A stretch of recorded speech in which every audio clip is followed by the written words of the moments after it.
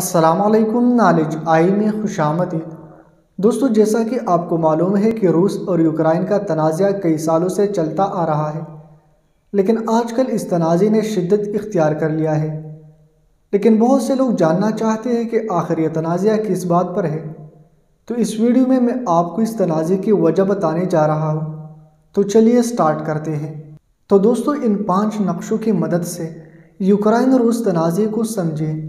Ukraine मशरक़ी Europe में वाक़ है और इसकी एक सरहद रूस से मिलती है।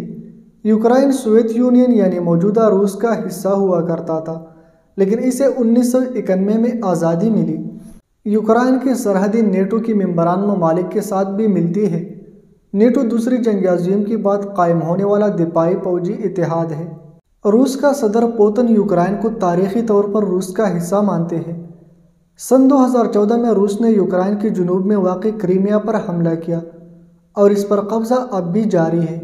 सन 2014 से अलाहदगी पसंद जिन्हें रूस की हिमायत हासिल है, लोहानसिक और डोनेसिक में यूक्राइन की अफवाज के साथ जंग लड़ रहे हैं। सदर पोतन ने ऐसे दो इलाकों को अलग रियासत के तौर पर कबूल कर लिया है, जिन पर रूसी हिमायत याफ्ता अलाहदगी पसंदों का कब्ज़ा है। ऐसा करके पोतन ने अमन माहिदा तोड़ दिया है।